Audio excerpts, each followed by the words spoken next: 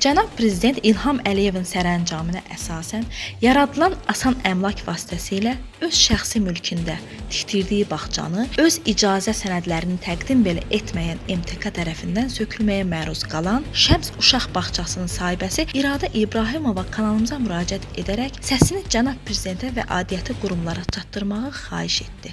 Hə, mülkümüz 21-ci əsrin evidir.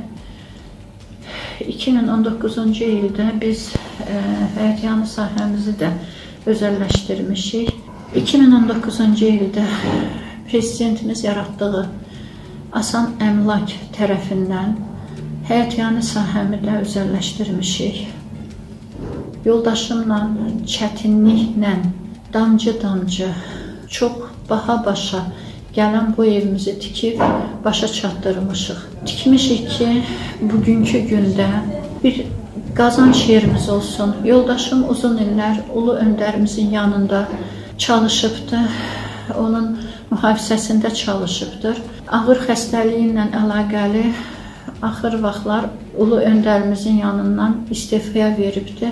Xəstəliyi dağınıq sklerozdur, hansı ki ildə çox böyük məbləğdə bizdən ə, məbləğ tələb eləyir onun ayaq üstə qalmağı. Bunun fikirləşərək və bunun hamısını gələcəyimizi fikirləşərək, yaşlı vaxtımızı fikirləşərək biz özümüz üçün mülk tikmişik və bu gün də yenə də qanuni şəkildə lisenziya, lisenziyonluq bağçada lisenziya alıb burada bağça icra eləmişik. Çox hörmətli bir bağçayıq, çox hörmətli bir kollektivik. Yəni bizim nə bir yanda reklamımız getmir, nə bir yanda biz biz özümüzün məhəbbətimizlə, özümüzün uşaqlara qayğımızla, biz özümüzün sevdirərək biz bu bağçanın işini davam etdiririk. Yəni ki, heç bir yanda baxsaz da reklamımız, heç nəyimiz yoxdur. İcra təmsilçiləri Bakı ə, şəhəri Nəsimi rayonu İcra hakimiyyətinin baş memarı da gəlmişdi.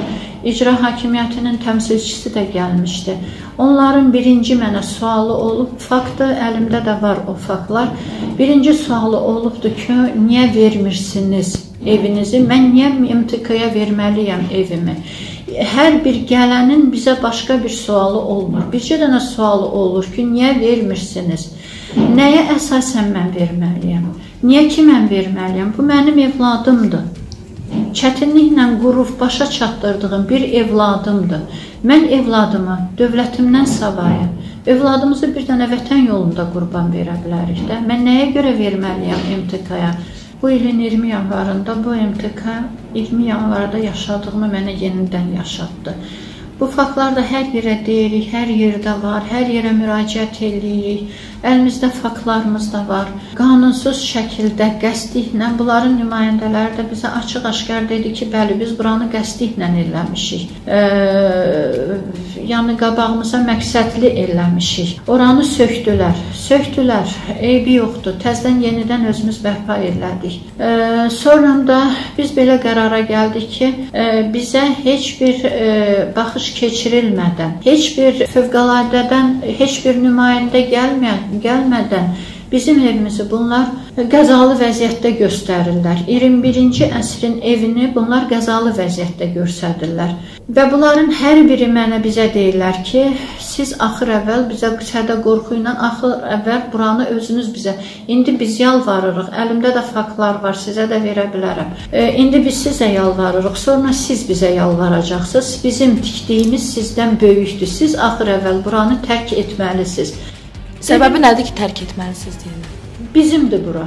Baxmayaraq ki, hər şey özünün. Kim deyir bunu? Nümayəndə.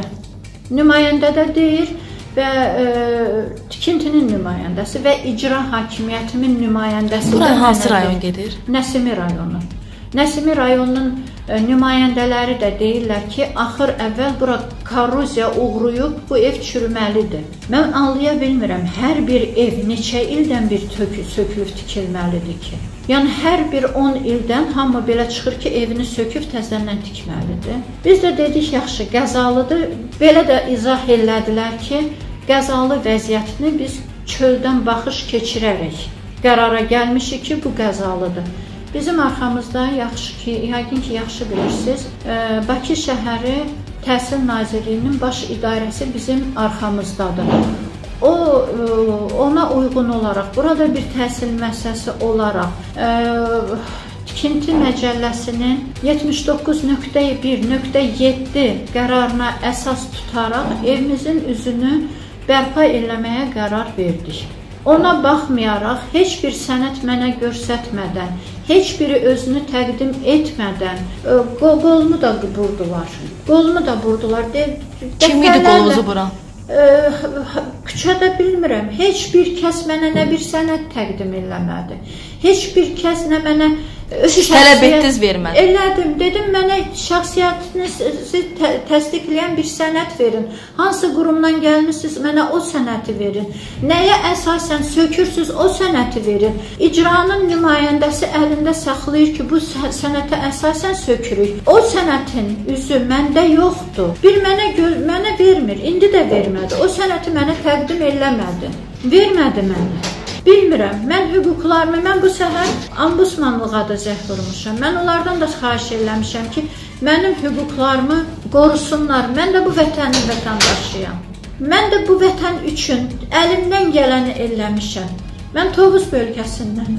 Biz bir qarış torpağımızı verməmişik. İndi bunlar nə, nəyə əsasən mənə deyirlər ki, sən tərk eləməlisən buranı. Nəyə əsasən? Kimə müraciət eləmək istəyirsiniz? Biz hər yana müraciət eləmişik. Mehriban xanıma müraciət eləmişik. Sevimli prezidentimə müraciət eləmişəm. Mənim prezidentim kim olduğunu 44 gündə göstərdi. Mənim prezidentim mənim də prezidentimdir. Mən bunlara deyəndə ki, mən pressanın nümayəndəsini dəvət edirəm. Bunlar deyir, pressa kimdir? Bunlar başa düşmürlər. Elementar bunların o qədər savadsızdılar. Bunlar qoçuluğu bir dənə bilirlər. Ancaq qoçuluğu bilirlər. Mən deyirəm pressanı, deyir pressa kimdir? Pressiyanın ixtiyarı yoxdur. Bunlar anlamırlar ki, pressa bizim dördüncü hakimiyyətimizdir. Bunlar anlamırlar. Bunlar nə məni burada öldürüb, mənim meyidimin üstündən məni sökəsidirlər. Bunlar məndən nə istəyir? Mən qəpiklə nəyəsə yox demişəm. Mən xeyli xər çəkib evimin çöl tərəfini başladım ağlayla. Nümayəndə mənə dedi ki, sən qabaritləri pozursan, çöldə ixtiyarın yoxdur. Get filan kəsə Ya Rüfət Mahmuddur, dəqiq yadımda deyil. Tamam Rüfət Mahmuddur. Mən də Pryamoy Bakı şəhərinə göndərdim, Nəsimi şəhərinə göndərmədim. Anar müəllimə göndərdim məktubumu. Anar müəllimdən gəldi məktubum Mahmud müəllimə, Rüfət Mahmud müəllimə. O da göndərir, hamısı nə gəlir? Xanım, bir papqadır. Bir papqadır. Mən də hüquqlarımı tələb edirəm. Baxın. Baxılacaq, baxılacaq, 10 gün ərzində cavab gələcək. Heç bir cavab yoxdur. Hər gün tapdalanıram. Hər gün hüquqlarım. Mən çox təmkinli, təmkinli qadınam. Mən intelligent bir ailədə böyümüş atam ömrümün axırına atan, axırıncı nəfəsinə atan yapa qulluq eləyibdi Tovuz rayonunda. Yapın buğalteriyasını mənim atam aparıbdı. Atam mənim ən hörmətli insanlardan biri olubdu. Biz özümüz həmişə mən hara gedirəm, hara gedirəm, mən dövlətimi, mən respublikamı baş-başa gəlirəm ki, mənim respublikamdan yoxdur, mənim dövlətimdən yoxdur. Bir dənə Türkmənistan vətəndaşı, bir də Türkiyə vətəndaşı gəldi.